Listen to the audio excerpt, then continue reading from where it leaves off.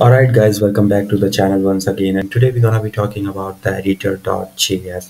So this is a new library I found just like a grapes.js. So in this editor we can also edit the text and delete the text and also we can add the blocks, tables and all the things, images and you can customize your code and all the things. So whatever you want to do into this editor you can do it like the grapes.js but there's little bit difference in the scenario that uh, we are just going to see. So let's see over here. So you can see there they have already shown over here a little bit kind of demo. If you click on to and you want to edit the text so you can see it's getting editable. And if you want to include some text over here so you can also hit the enter and you can click on this plus icon and you can include the text over here heading over here or you can include the list or image so you can click on this and you can get the image over here. Otherwise just hit the enter and if you see icon so you can see. So you get a lot of options over here but this is not a kind of thing like uh, you are dragging the component from here from the right or left side and dropping inside the editor and it will be start showing like that. So that's kind of scenario is not here but you will get the options on this plus icon and you can just choose those options and put it over here and just start editing those things. So that's it you can do. And also you can write the code. So you can let's suppose if i'm writing the code as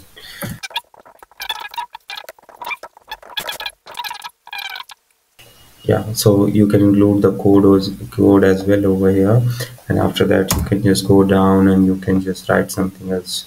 So that's the thing you can do. Also you can include the tables like this. You can include the rows uh, like columns. And you can include the rows like this. You can use this and you can just customize your html template as well. So you just need to pass your html templates into this editor and it will automatically start handling those things.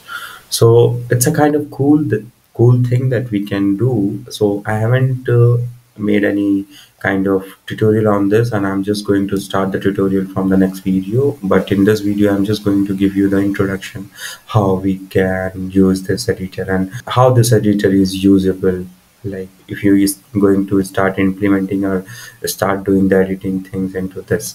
Okay so let me show you the documentation part how you can if you want to integrate this editor like the grapes.js so how you can do. So this uh, documentation already defined like how you have to integrate. So step-by-step -step process is there.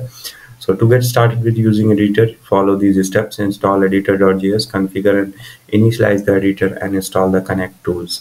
Okay so installation is defined node package manager source from cdn and local file from the project. Three ways are there that you can uh, initialize this. So first one is this. You can copy this command and paste it like we were doing into the react.js and just install that editor into your node package manager and start importing that like this and just use this. Otherwise you can include this cdn and initialize this editor.js like this okay so both the way are over here and you can use any way it's up to you and tool installation is this one.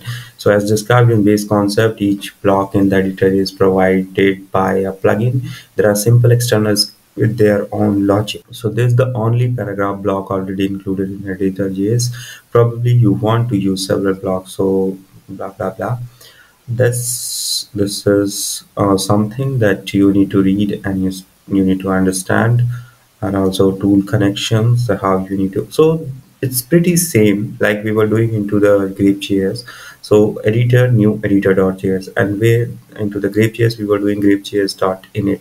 So something like that it's really pretty same and uh, we also need to pass the properties inside this initialization as your own choice what the features you want from this editor and what you don't want. So according to that you need to pass the properties inside the initialization and uh, you can use it. So i hope you guys are understanding like uh, how we can implement but there are several topics that you can cover and you can read about this. I'm not going to describe everything properly today but I just wanted to show you guys like uh, on this editor I'm just going to start a tutorial off in the few days you will start getting those tutorial videos. Thank you so much guys. Thank you for watching and I'll meet you in the next video with this editor tutorial. Bye bye take care and meet you in the